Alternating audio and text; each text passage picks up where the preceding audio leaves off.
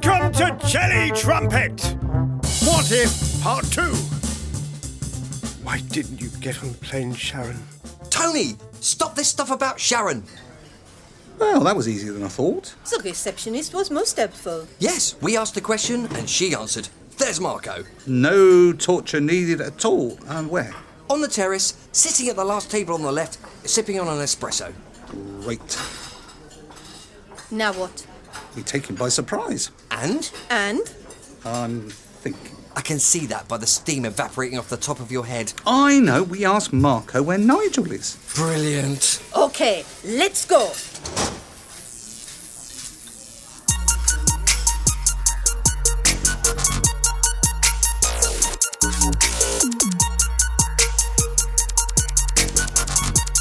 Interview countdown! Welcome to Jelly Trumpet. Our guest on this episode is James McCabe from Sketchhouse. Do look them up. They're on the web. They've got their own website. Sketchhouse produces bespoke sketch comedy videos for business, and James is a copywriter. Is that correct? That's right. That's right. Okay, James, let's go with our 12 questions in 12 minutes. So, first of all, what is your business? Right. What is my business? Um, my business is a company called Sketch House, as you just said. Um, I run it with uh, my business partner, Mike Sengelo, and we basically we create bespoke sketch comedy uh, videos for PR and event companies and advertising agencies generally, and direct business clients. So we create um, professional business, um, professional quality video for any organization that wants to um, kind of rise above the noise that you'll find um, on all these various channels like LinkedIn and uh, and YouTube and all the rest of it. Um, and we just create what we think is more engaging content for for them, um, particularly if it's an event company, more more kind of um, engaging content for them for their in-house training. So they're not not ads per se, but um, what we call it is sponsored comedy that's shareable. So it's kind of almost like a Trojan horse. It it it, is kind of um, advertising content, but it looks like um, shareable comedy content. So it sneaks in under the radar. Cool. That sounds very interesting. I've seen your work. It, it is very high quality. Now, question two. This is one of my favourite questions. Who is your creative hero or heroine? Right. Well, um, I'd say my my creative hero goes back to the, the 1980s for me. It was a man um, called Keith Johnstone who wrote a, a, book called Impro. It kind of changed my life when I read it back then. Um, uh, it's a book that um, is um, that was designed for um, acting and improvisation, but um, I've used it in all my creative work, whether it be writing or performing, um, because it, it, it, it, it's all about the idea of, of, of always saying yes and, and being present and, in what you're doing and not blocking who you're working with, not having to be the cleverest person in the room, being open to, to adventure. Um, it basically teaches you how to, to be spontaneous. And I've used it as my Bible um, for my whole career. Cool. Cool. I know the book. I think we'll pick up on that conversation in, in the bonus episode. Now, uh, this is one because you're a creative chap. How do you start a project? Right. Yes. So um, with Sketchhouse, um, we're kind of straight in with uh, with the money. So we need to get a rough idea of a, of um, the ad spend the client has, get a ballpark fee, and that's how we can start planning our production budget from when we understand how much they basically got um, in their spend. Um, so after that, um, of course, it's the brief. Um, we, we, we develop a brief with the client, what they want to get out of the project, um, get a sense of the company, their goals, um, what they're trying to do, what problems they're trying to solve, and then we get into the, the fun bit, which is the concepting and the actual writing of the of the content. So we develop some sketch ideas and concepts, and we run those past the client, our client initially see which ones they bite um, uh, uh, for, and then choose the one that they like best. And uh, from there, we develop the full script. Cool. Which leads us on to the next question very neatly. I've, I've written this well, haven't I? To what degree? to what degree do you map out each project? Well, being being as the sketches are film productions, um, the planning needs to be, you know, um, note perfect right down to the last detail. So the script needs to be signed off by the client before we shoot, um, and then there'll be a production meeting with the film company we use, um, make sure that the DOP can plan his approach, and he'll create a shot script from that. And um, we'll also plan lights and sound and, and and all these elements. And we also have to plan around a location, which um, has all sorts of logistics to go with that. And then, of course, there's casting the actors and rehearsing uh, the script um, and the run up to the shoot. Cool. Well, you've answered that one quite succinctly, James. Thank you for that. we, we, can now move on. Um, how? Well, you're going to probably answer this one quite succinctly. This is question five. How do you know when the project is finished? Yes. Um, well, it's once the, the post production is done, basically, um, when it's in the can, um, and then we'll have Mike, um, my my business partner, uh, working in the edit suite with the DOP, and they'll try and get this the clip as tight as it can be, and, and, and obviously as funny as it can be, and and that is all done in the edit because that's where all that you know, as you'll know, the timing is in in the edit, mm. and then that edit is sent to the client for approval, Mm. and they often or they may ask for changes and we'll we'll accommodate those and um, when they're happy um, and the client's happy um, they get their sketch delivered and then they set uh, sort of set it free into the wilds and use it in, in whichever way that that they want. Cool. So it's a very defined well defined process that you have for, for sketch house. Yeah um, yeah we, we pretty much stick to it. Cool. So, this one is more about your own creativity. What's the best thing someone has said to you that kept you going when it was a struggle? Yeah, um, quite recently, actually, um, the beginnings of, of Mike and my um, working and, and doing comedy sketches together. I say recently, about seven years ago, um, we put together a show which we called the Fro Show, which is the genesis of Sketchhouse, really. So it was a live show. We took a punt with it. We didn't really know whether we'd have an audience for it. We, it was performed locally. We didn't know it would be paying its way or not, um, but we went ahead with it, um, finding actors, writing scripts. We booked the venue, uh, and about two weeks before opening night, um, a couple of key cast members fell fell out of the show for various reasons, and we were thinking we've lost the show, we've invested our money, and we were very downcast. We thought um, we, we, were going to be sunk before we'd even started. But our musical director, who's a terrific bloke um, called Paul Wheeler, he said, "Look, you could pull the pin if you want, you could cut your losses and, and, and walk away, and, and and that's that." But he said, "You know, I'll never forget it." He said, "But I think you have a show," and he said, "Oh, I think you can do it." And it's just one of those moments like out of a Hollywood movie. And it was like, yeah, yeah we're all kind of. we can do the show right here. Yeah. Yeah. Lovely. Yeah, lovely. It's, it's uh, really valuable when you have people just say, well, just do it. You know, let's get on with yeah. it. So, this Absolutely. next question E, is really about your creative side about are you honest with yourself? Yeah. That's a tricky one. Um, to the best of my ability, I suppose. But um, I'd also uh, say I'm quite good at deluding myself and uh, telling myself stories. Mm. And and the problem is, if you're good at that, um, you know, you can um, think you're being honest with yourself, but you're not actually. So um, that, that that's the honest truth. cool. Wow, that's good. I like to be. I like to be honest. I'm not sure I always am, but I'm not that deluded. So, um, listen, again is about your creative self. What's the proudest you've been of one of your ideas? Um, well, I, I, I, am not sure I can think of a, particular example, but um, I don't know if I even have a lot of time to be proud of, of, of ideas because I'm always looking for the next one. You know, that's it's um, it's, it's, it's I'm always going on to the next thing. But I, I love the feeling, you know, when I and you probably feel the same when you hit on a good idea, just mm. that that buzz, um, kind of dopamine kind of hit that you get when you um, find a good idea and you know it's a good idea. Um, you know, and sort of zings all over the place, all the different possibilities of it, and uh, you know, sometimes that's closely followed by um, logistical problems, and you think, oh, hang on, actually, no, that's not going to work, and you know the kind of the spiraling down mm, effect. Mm, mm, yeah, but then you know yeah. it's like surfing. You're waiting for the next wave, and there'll be another one along in a minute. You know. So you get off on the buzz is really what you're saying there. Yeah. Yeah. Okay. So what is your next project? Uh, well, at the moment, it looks like Sketchhouse's um, next project is to develop a series of sketches for uh, an industrial pump company and uh, you, you, know, you might think that it's uh, it sounds uh, you know like a terrible assignment, but actually, I, I always find some of the um, most kind of um, everyday um, strange things like that can be some of the most you know promising for comedy and, and laughs. You know, the, the most ordinary and and and um, straightforward things can have the best comedy. I agree with I agree with you. Simple is best. I tend to overcomplicate things, which I think a lot of creative people do. So uh, this one is question ten: Should creativity be taught as a skill in school?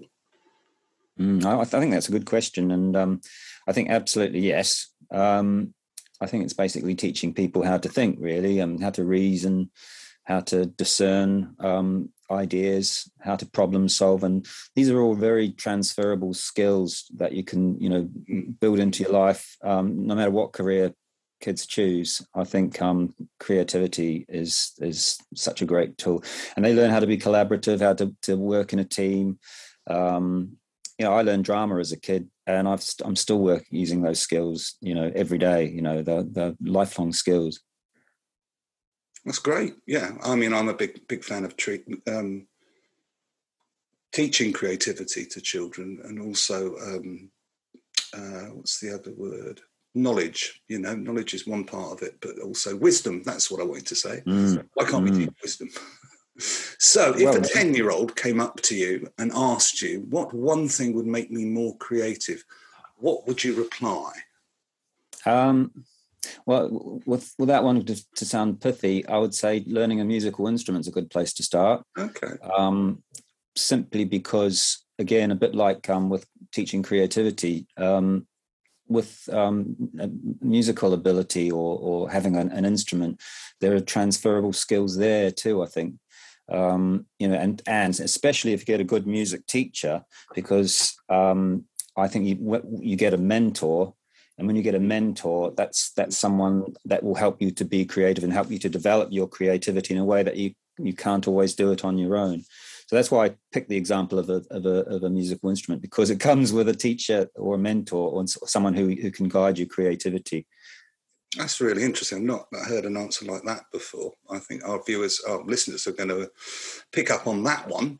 So, uh, because you've been so good with the, keeping under time for each question, we'll ask you the last of the 12, and then we're going to go on to the bonus question, which you've unlocked. So, how can a listener get in touch with you? Okay, uh, best thing I guess is to, to email um, Sketchhouse, um, which is um, the email address is funnybones at sketchhouse.net.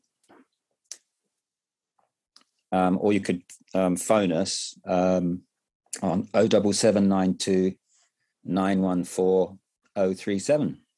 Cool. Cool. Right. Excellent. So you've unlocked the bonus question, James, and your bonus Pandora's box. You, you've opened. A, it's full of hope. It's all full of hope. so um, this question is one of my favourite favourites, and it is: What's something no one knows about you? Um. Okay.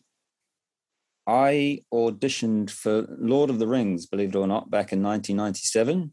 Wow. Um, I was I auditioned to be an elf.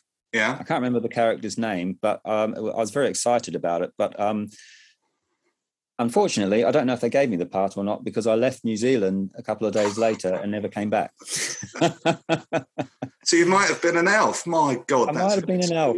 That is a great story to have. One of my favourite movie franchises of all time. And it's coming out on yeah. Amazon as well, isn't it? It's a sort of prequel. Yeah. So that's something very exciting. Okay, so we're going to wrap there. Um, so that was James McCabe of Sketch House, a bespoke sketch comedy video for business organisation. Thank you very much, James. Thanks, Jim.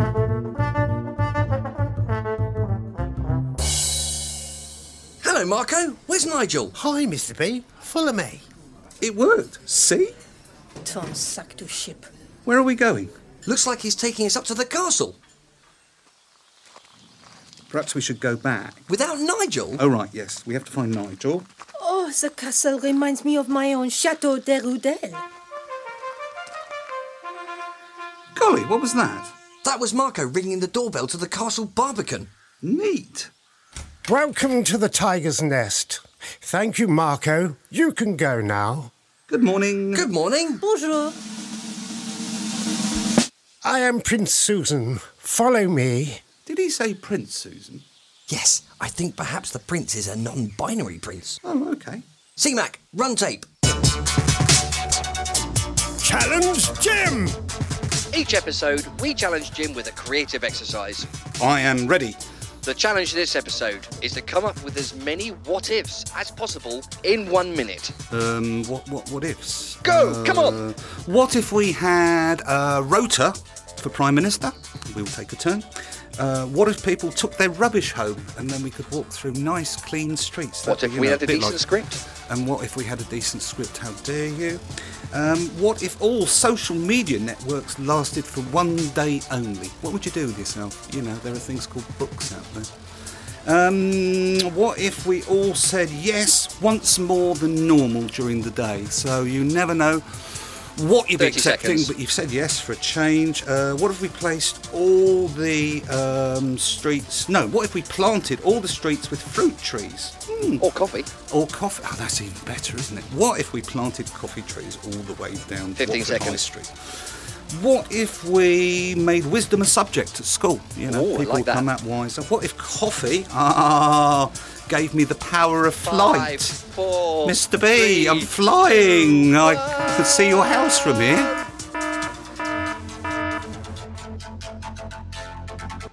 Tony's word of the episode. Tony's word of the episode. Tony's word of the episode.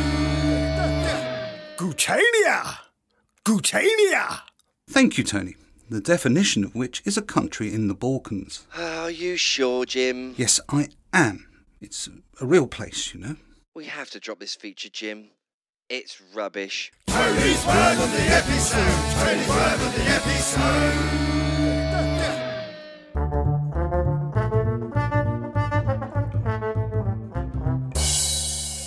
Excuse me, Prince Susan, but we're looking for our friend Nigel. This high, fluffy tail, constantly nibbling his nuts. All in good time, good sir. First, I'll show you round the tiger's nest.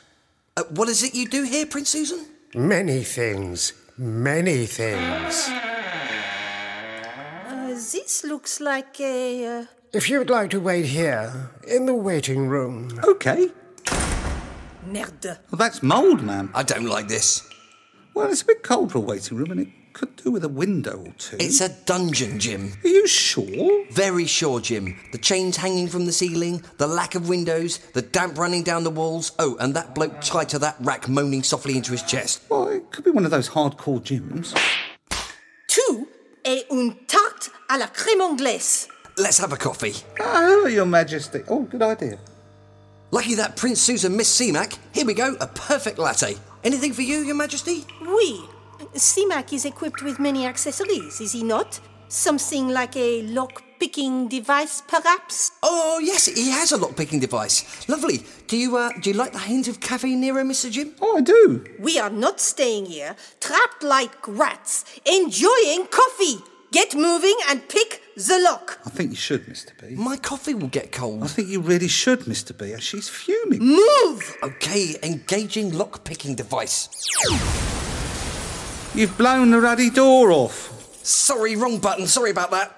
We didn't get travel insurance, you know, Mr. B. It's only a door, Jim. Shh! But it's not our door, Mr. B. I mean, it's not very polite to blow the ruddy door off. It won't happen again. We're leaving. Oh, good. I think at the very least we should leave a note. You know, explaining the accident, offering to pay for a new door. Good idea. CMAC, a pen. No, let's let's not use CMAC for the note. I happen to have a notebook and a pen. Oh, come on, boys. Dear Prince Susan, sorry about the door. We had a small accident with our coffee machine's laser. We will, of course, be happy to make recompense. Oh, What, Mr. B? uh, the door wasn't locked. Boys, we're here to rescue Nigel. Quite. Uh, after you, Your Majesty. Oh, merci, monsieur. Well, I suppose we find Nigel, get back to the podcast, and travel back to St Albans then. What has happened here? I, I do apologise, Prince Susan. Used the wrong button on the coffee machine. Coffee machine? Y- yes. It won't happen again. Very well. Follow me.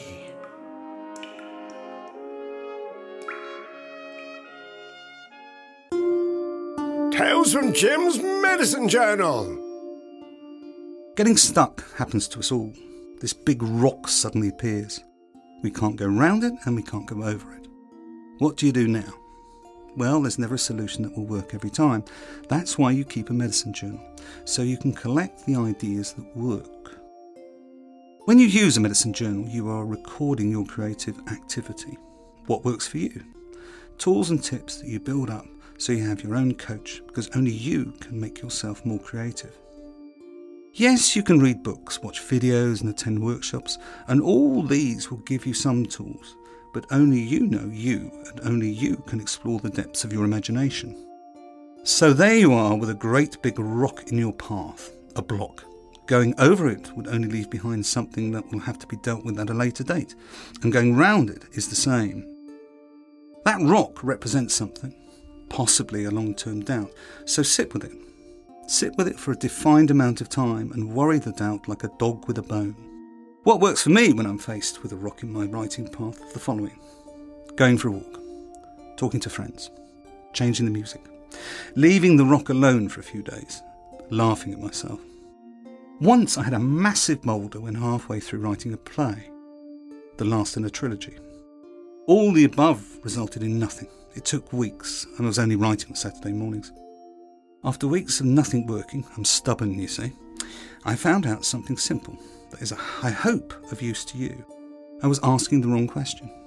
The boulder was caused by focusing on a technical aspect to do with multiple characters and a plank of wood. When I changed the question to, how do I make this as funny as I can? Then the energy changed, the imagination was engaged, and the technical aspect lost importance. Takeaway When you are stuck, are you asking the wrong question?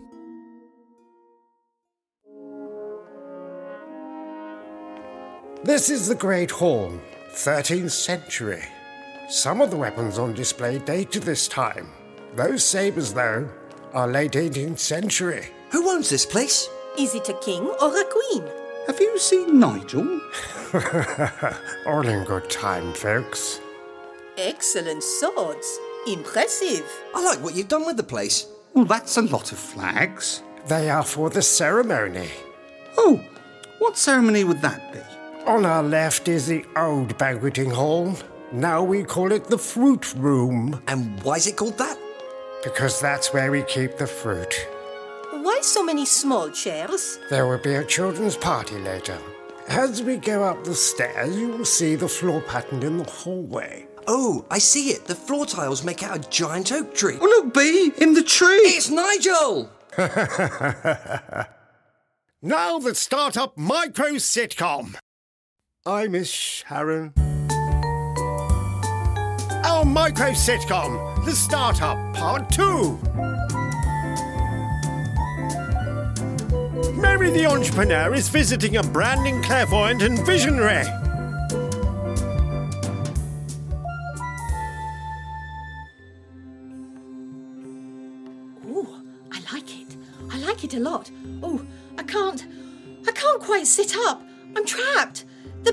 Chair is like quicksand. Your destiny is to rule the kingdoms of commerce. Tell me more. I see more. Yes. I see the brand. I see the logo. The colours purple. Pink. Yes, pink. A B&M sitting on a crown of thorns. Thorns? Uh, no, not thorns, uh, horns. Horns of plenty. Mother Courage wearing a crown of horns with B&M emblazoned in pink. Oh, I see it too. Thank you. I'll show you out. Gwen, I mean Gwenzilla must rest now. Brace yourself. I'll pull you off. Oh, that would be lovely. I mean, what now? Well, how about signing up to our exclusive second sight How to Use the Visions in Digital Marketing course? Sounds terrific. Yes, and only £900. And 50 with a free tarot reading. What? Uh, where do I sign?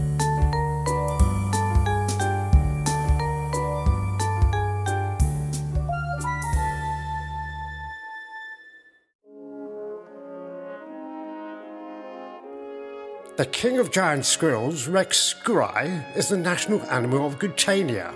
The people gather every 1st of May to see him eat the first nuts of the season. I'm a bit lost, Mr. B. What could this mean? Is Nigel the king of the squirrels? Hmm. Perhaps he'll want to stay here amongst his people. No, he loves the podcast. On this floor, we have some of our major departments. We've had a good harvest this season. Harvest? What? Wheat? Barley? Apples? Data, personal data, company data, government data, charity data, anything we can use to make Gutania even more data rich. Soon, we will have all the data we need. Blimey. Well, well, well. Data? Your Majesty, it's information. Information is power. Oh, it used to be the sword. I like to think imagination rules the world. You old romantic, you. Hmm. What are all these people doing, Prince Susan? A variety of teams, a variety of tasks, all to secure the future of Gutania. For instance, Team 7 over there are rolling out conspiracy theories in the UK. Team 9 are creating the next batch of motivating memes that, of course, demotivate and depress anyone scrolling through Instagram. What is that sound of water? Our cooling system. We have a significant server farm under the castle and extending into the mountain. Aha! Gregor, looking good. What does Gregor do? He looks very healthy. Gregor is our head of guilt and eating vision. His team specialise in contradictory nutrition advice, eating fads, and body shaming. He came up with the Avo selfie campaign. I remember that. People taking a selfie with their favourite avocado almost blew up the internet. And that crew with their baseball caps on backwards? That's Team 11, digital marketing gurus. You know, download my ebook, Seven Internet Secrets That Will Make You Millions Overnight. Was $435, now only $7.99 for one day only. Every so often we let them out and take pictures of them sitting on somebody else's supercar. they are so funny. Stupid but funny. What's through that door? The one with the full length mirror? That's where we keep our influencers. You may see them later. Come, it is time to meet Carter, the chief disruptor.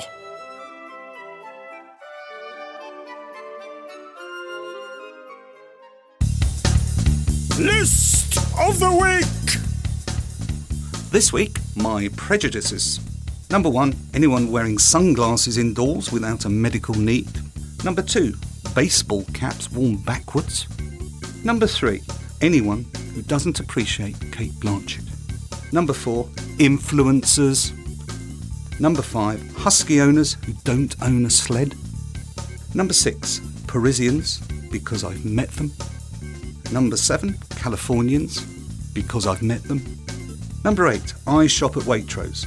Waitrose is not a measure of your worth. Number nine, business coaches, you just need a good friend. Number 10, lifestyle models. Read something. Number 11, anything with parsnips.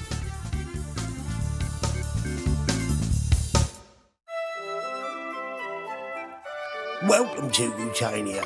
Nigel! Nigel! Oh, my brave boy! That's interesting. A coffee machine on tape tracks. Coffee everywhere you go. I like it.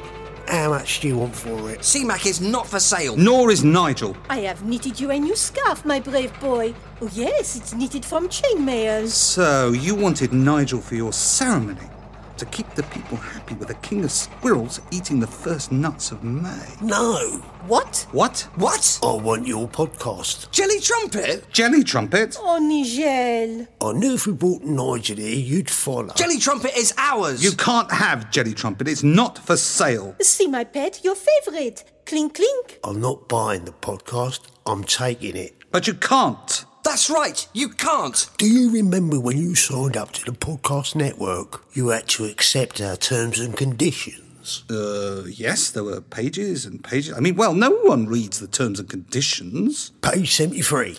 In the event of a podcast becoming popular, we reserve the right to take it over without paying anything at all. Time out, Mr. B. We have to think of something. Righto. Engaging next segment.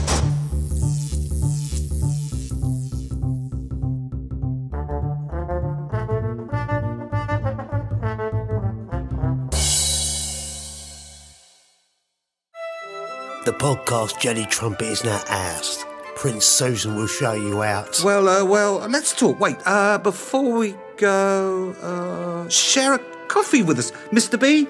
the super, super, super latte with extra milk. What? Oh, oh, right, yeah. Setting CMAC to super steam. Your Majesty, take a blade. Oh, but of course. Look out, Chief Disruptor. She's got a blade. And engage steam. My eyes. The latte. Get her, Prince Susan. I will cut you to ribbons. I think not, Prince. Nigel, after three we ride. One, Make for the children's party. Security. Engaging CMAC boost. two, We can lose them amongst the children. Look, Jim, lose the security people. Must be a dozen or more. three. Ride, my furry steed. After them. What now? There's loads of them. I should really have redrafted this episode. I mean, it's sort playing a podcast. We can't fight all of them, Jim. We have to. Then over the balcony, run to Jelly Trumpet, and then Then what, Jim? we become an outlaw podcast, forever roaming time, space, and media. But we'll all be free. I agree, Mr. Jim. Freedom! But what do we do about all these security people? Good boy, Nigel. Her Majesty is putting up a terrific fight. She's getting the better of Prince Susan. Look, the security team is getting closer, Jim. What can we do? Wait, I know. More steam, Mr. B, and then we party. We party like unsupervised children. What? Oh, okay, setting CMAC to steam overdrive. Ready, Mr. B? Ready, Mr. Jim. Fire! This Vermont is deadly. Oh, that jelly works a treat too. The pies, Mr. B. Use the pies. Your Majesty, time to go. Very well, Monsieur Jim. Nigel, avance. My hair. Aha! Good boy, Nigel. You spit very well. Everyone, this way.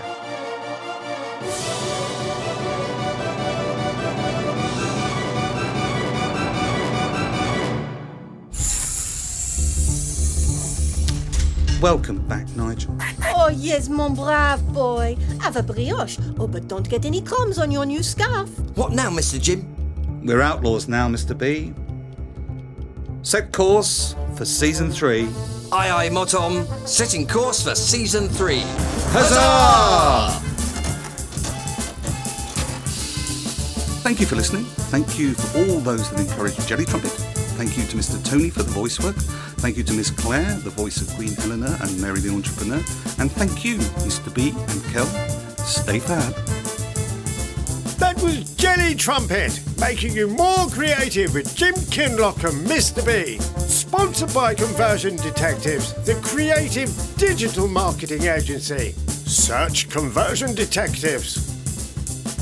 And now an exclusive, the first single of their second album from We Paint Houses, called Maybe.